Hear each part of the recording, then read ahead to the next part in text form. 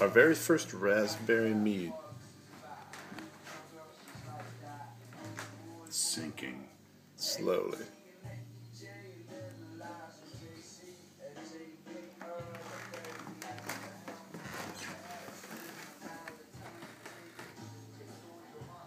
It's a beautiful color. It's like Kool It's Aid. gorgeous. There's a Still chunks significant of amount. raspberry Yep, showing up in there. coming through. It's not gonna hurt anything.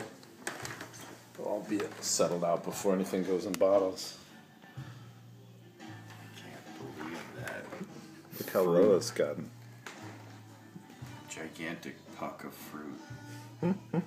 It's a lot of raspberries.